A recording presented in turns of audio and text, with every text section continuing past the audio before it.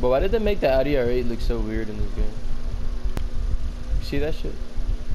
Like it doesn't look like an R8. You can only tell by the way the body is, because the Audi R8 is shaped like that.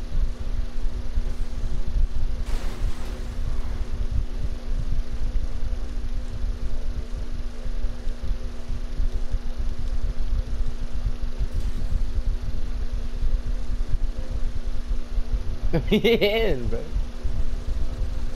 I'm taking off. I'm taking off. when I know you can have it, you can. I'm dead.